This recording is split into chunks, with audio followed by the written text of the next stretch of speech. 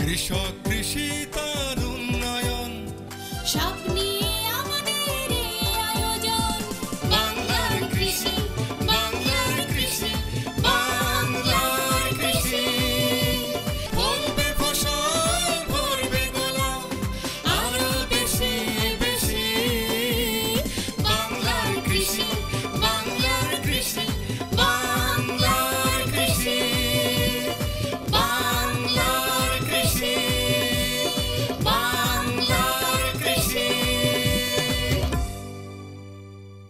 সুপ্রিয় দর্শক, বাংলার কৃষি অনুষ্ঠান থেকে আপনাদের সবাইকে শুভেচ্ছা।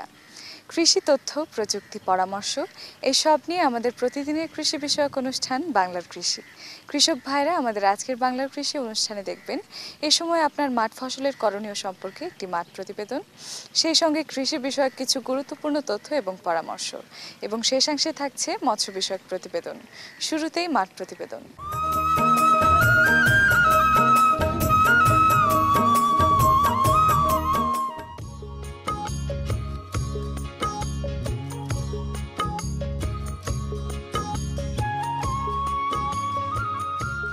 পেয়ারা, ভিটামিন সি ও আয়রন সমৃদ্ধ একটি পুষ্টিকর ফল। এখন দেশের অনেক এলাকাতেই এই ফল বাণিজ্যিকভাবে চাষ হচ্ছে। তবে এই দেশে পেয়ারা উৎপাদনের প্রধান সমস্যা হলো এর কিছু রোগ ও পোকার আক্রমণ। এসব রোগ ও পোকার আক্রমণে পেয়ারার সৌন্দর্য ও মান নষ্ট হয়। এই অবস্থা থেকে পরিত্রাণ পাওয়ার জন্য কৃষি বিজ্ঞানীগণ একটি পদ্ধতি উদ্ভাবন করেছেন, যার নাম ফ্রুট ব্যাগিং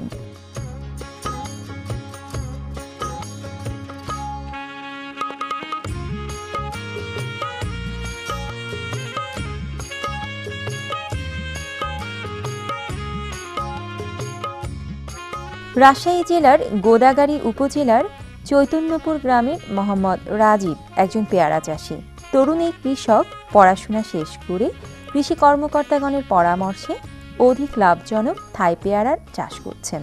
তিনি নিজের জমিতে গত তিন বছর ধরে থাই পেয়ারার চাষ করে বুঝতে পেরেছেন। চাকরির পেছনে না ছুটে কৃষি কাজ করেও লাভবান হওয়া সম্ভব। তাই তো? এবার এলাকার মানুষের জমি লিজ নিয়ে উনচল্লিশ বিঘা জমিতে পেয়ারার আবাদ করেছেন।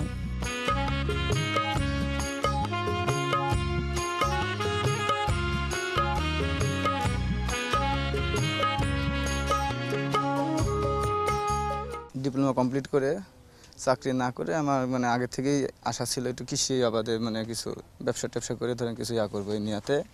জমি লিজ নিয়ে আমি পেয়ারা শুরু করেছি। আমি বিগত আড়াই বছর আগে শুরু করেছি। চাকরি থেকে আমার এটা অনেক লাভজনক।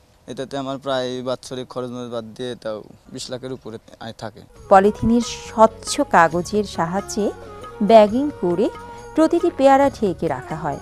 ফলে পেয়ারাগুলি পোকামাকড়ের আক্রমণ থেকে রক্ষা পায়। বিধায় একদিকে যেমন ফল নষ্ট হয় না, অন্যদিকে ফলে কোনো দাগও পড়ে না।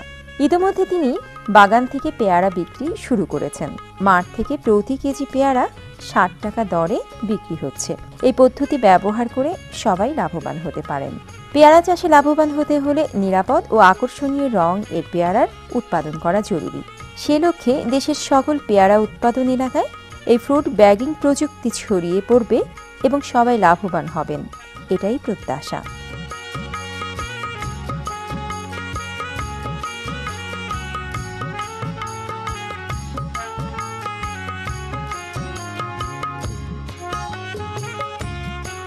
বিকল্প ফসল হিসেবে পেয়ারার চাষ আবাদ হচ্ছে। পেয়ারা একটি লাভজনক চাষ। পেয়ারা সারা বছর ধরে এবং এটা বাণিজ্যিকভাবে চাষ করার জন্য বেকার যুবকেরা যদি আগে আসে, তাহলে কৃষিতে স্বনির্ভর হবে দেশ, যে জমিতে আমরা দাঁড়িয়ে আছি, ওনার নাম হলো রাজীব। উনি শিক্ষিত ছেলে, ডিপ্লোমা পাস করার পরে চাকরি বাকরি না খুঁজে তিনি পেয়ারা বাগানের প্রতি আকৃষ্ট হয়েছে। বর্তমানে তার উনচল্লিশ বিঘা পেয়ারা বাগান আছে। বিশেষ করে ইদানিং আধুনিক কৃষি কাজ করার জন্য শিক্ষিত বেকার যুবকেরা পেয়ারা বাগানের দিকে আকৃষ্ট হচ্ছে।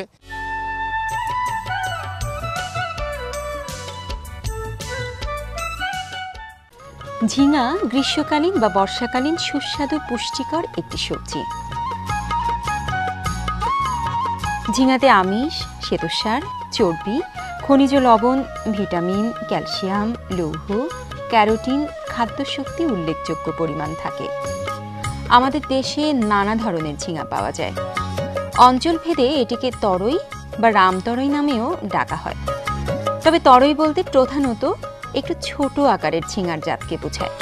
সে অনুসারে ভুঁয়ে এবং পালা এ দু প্রকারে বিভক্ত। ঝিঙা চাষে উর্বর দোয়াশ মাটি ও উঁচু জমি বেশি উপযোগী।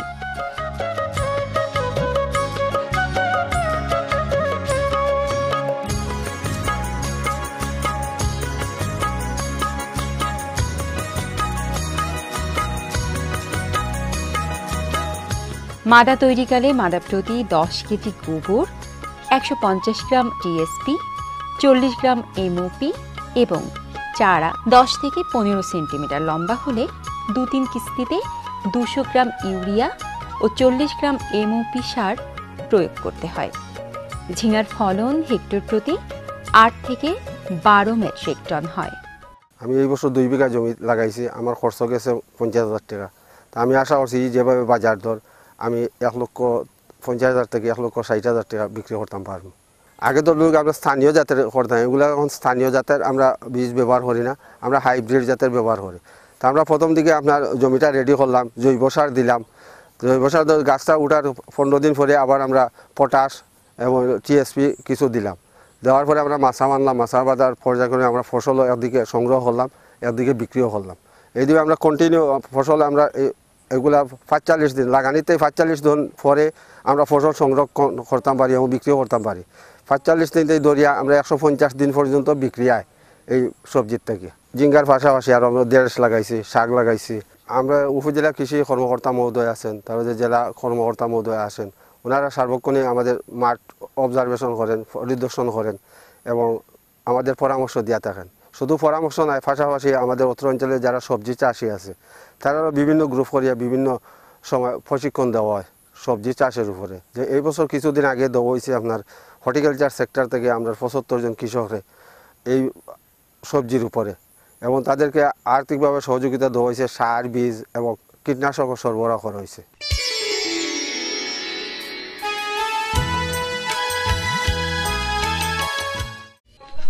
গরু দিয়ে মলনের সাহায্যে অথবা শক্ত কাঠের উপর পিটিয়ে ধান মাড়াই আমাদের দেশের সনাতনী একটি পদ্ধতি।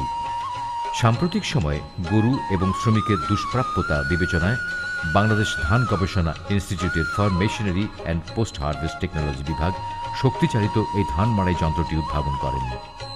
ব্রি ওপেন ড্রাম থ্রেসার বা ব্রি ধান মাড়াই যন্ত্রের প্রধান বৈশিষ্ট্য হচ্ছে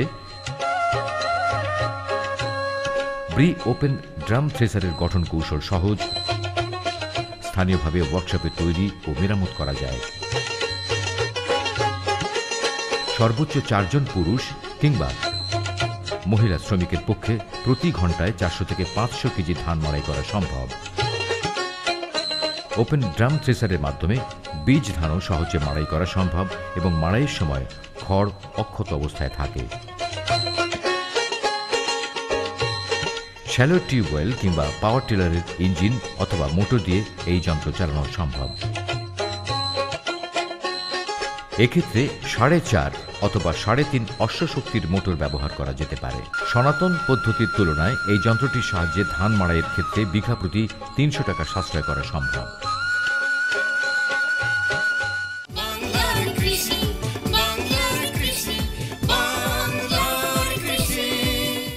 দর্শক, দেখছেন বাংলাদেশ টেলিভিশনের প্রতিদিনের কৃষি বিষয়ক অনুষ্ঠান, বাংলার কৃষি। এ সময় আপনার মাঠ ফসলের করণীয় সম্পর্কে আপনাদের জানাতেই আমাদের বাংলার কৃষি। সঙ্গেই থাকুন এবারে মৎস্য বিষয়ক প্রতিবেদন।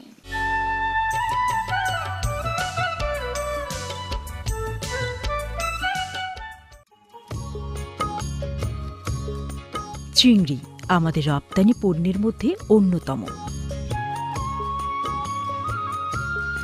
দেশের উপকূলীয় অঞ্চলে ব্যাপক চিংড়ি চাষ হয়, যা দেশের অর্থনীতি এবং কর্মসংস্থানে যথেষ্ট অবদান রাখে। খুলনা জেলার কয়রা উপজেলাধীন ক্ষীরল এলাকার প্রাপ্তি অ্যাকোয়াকালচার একটি সফল চিংড়ি খামার। এটি এলাকার প্রথম চিংড়ি খামার।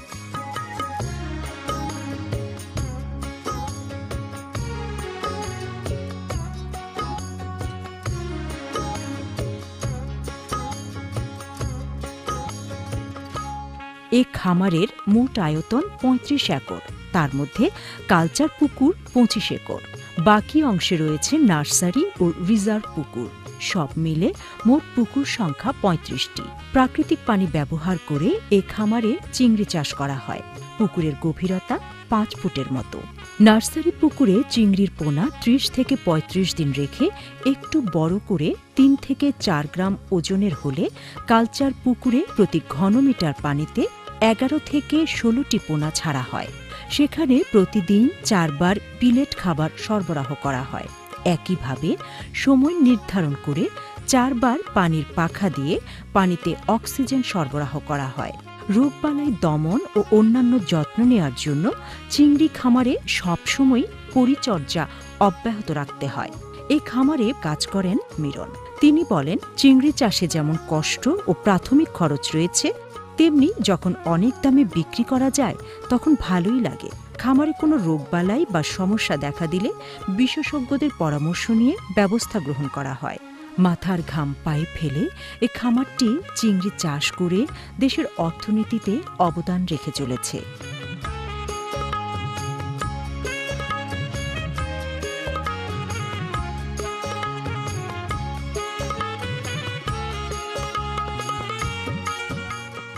এখানে পঁচিশটা কালচার বন্ড আছে, পাঁচটা রিজার্ভার আছে আর চারটা নার্সারিং বন্ড আছে। পুকুর প্রতি আমাদের এক একর প্রতি আমাদের মাছ দিয়ে থাকি আমরা আশি হাজার থেকে এক লাখ। আমরা চাই যে আমাদের এরকম ফার্মের মতন আরও সব জায়গায় দুই পাঁচটা করে যেন আমরা এই ফার্ম আরও দেখতে চাই। আমরা চাই যেন আরও দশ বিশটা ফার্ম আমাদের আশেপাশে হোক বা আমরা যে প্রসেসিং করতেছি তাদেরকে আমরা সেই প্রসেসিং দেওয়ার জন্য আপ্রাণ চেষ্টা করব।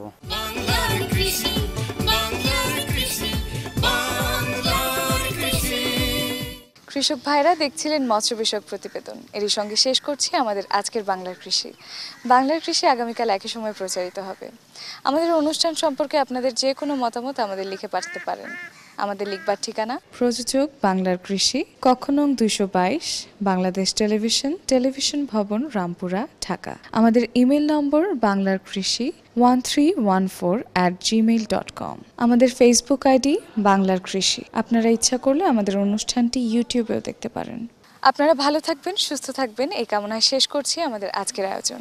আল্লাহ হাফেজ। কৃষক কৃষি